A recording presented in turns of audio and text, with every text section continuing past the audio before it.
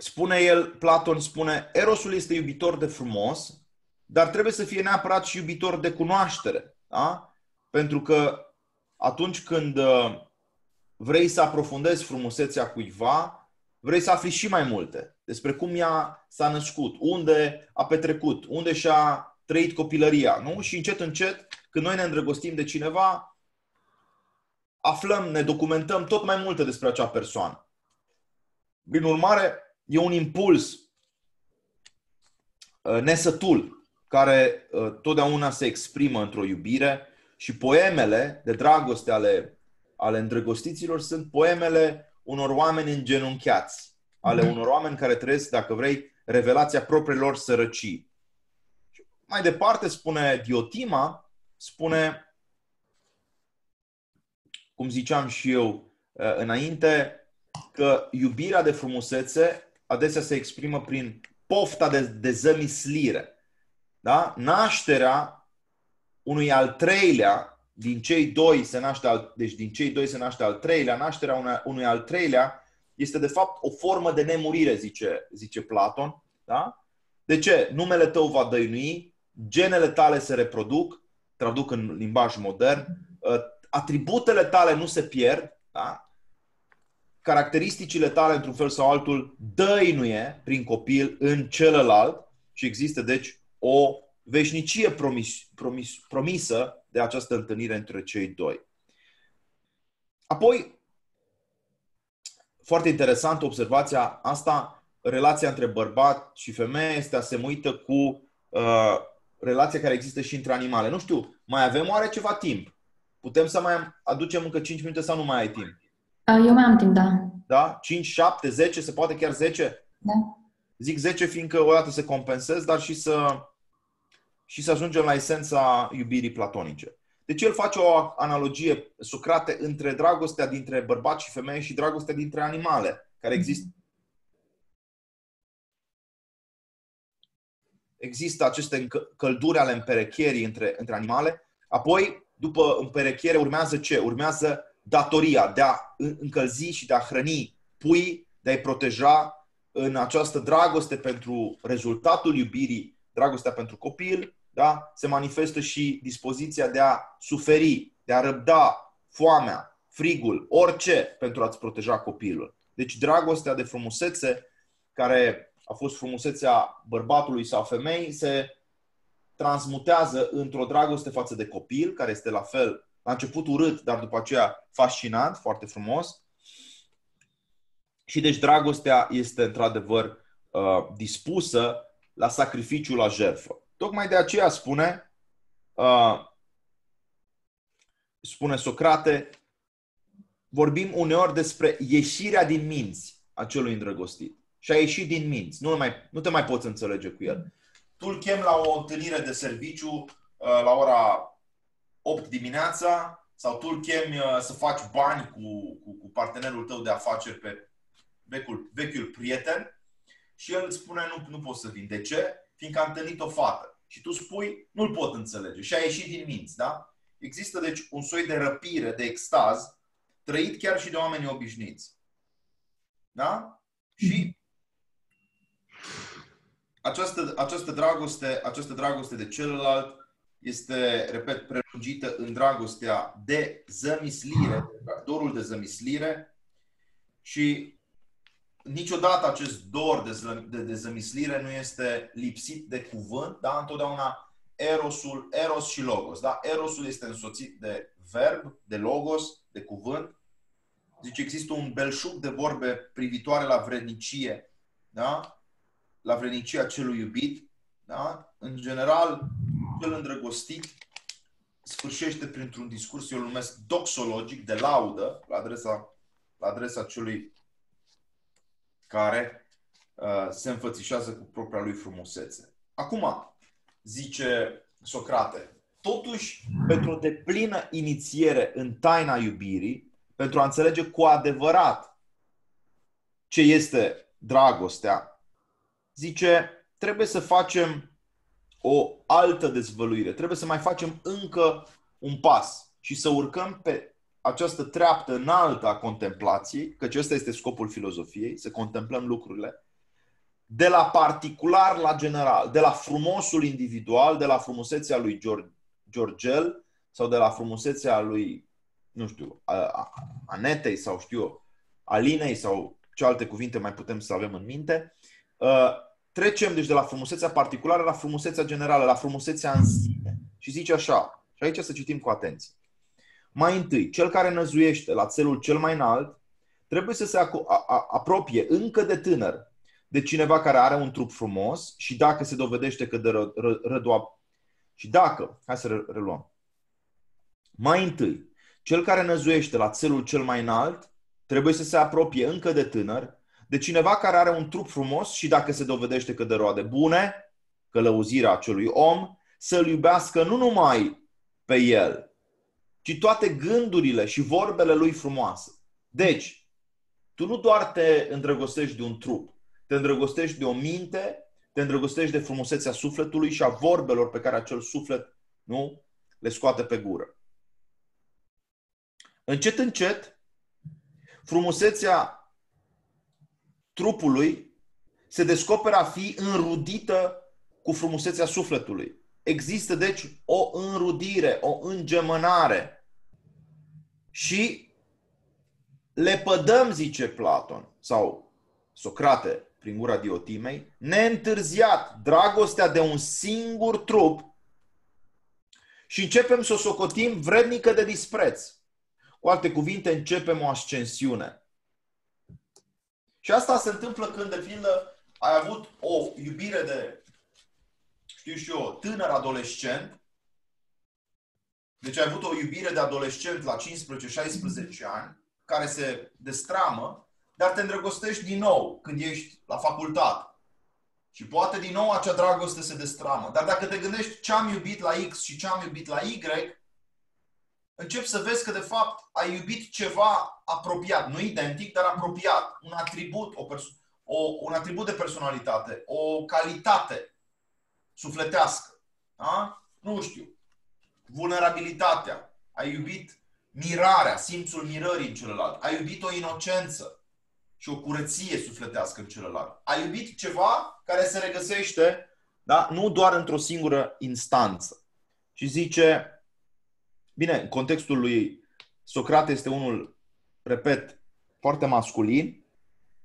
Vorbim aici despre relația între maestru și discipol. El vorbește despre îndrăgostirea pe care eu am resimțit-o, recunosc, când eram tânăr.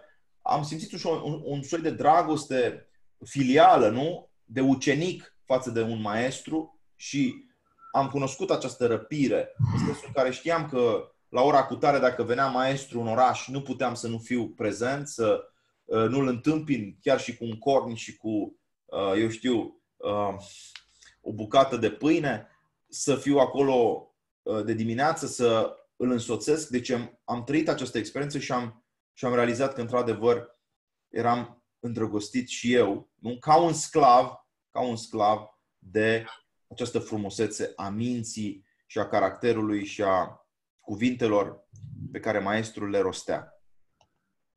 După care zice, noi de ce suntem îndrăgostiți? Deci, de frumusețea trupului? Nu. De frumusețea însăși. Da? De frumusețea însăși, care da? se manifestă prin cuvânt. Și zice, tocmai această trecere nu? de la iubirea particulară la iubirea generală sau la iubirea în sine este uh, experiența inițiatică mult așteptată de filozofi, pentru că această iubire de frumusețe mare, această iubire de frumusețe depășește iubirea de știință, iubirea trupului, iubirea culturii celuilalt, depășește toate aceste instanțe. Hai să recapitulăm, deci, și ajungem la iubirea absolută.